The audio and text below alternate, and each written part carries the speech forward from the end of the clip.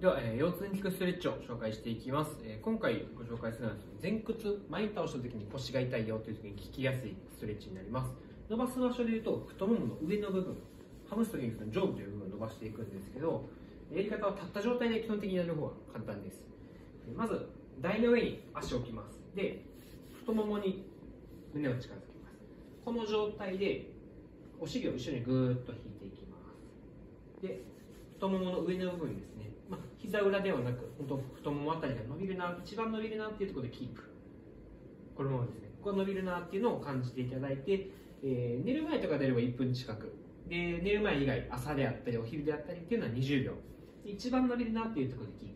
運動前とかじゃない限りはよっぽどキープしておいてください。運動前とかであれば、こうやってやっていただくのもいいんですけど、基本的にはキープしていただくの方がおすすめです。で、右やったら、同じように、えー、左側も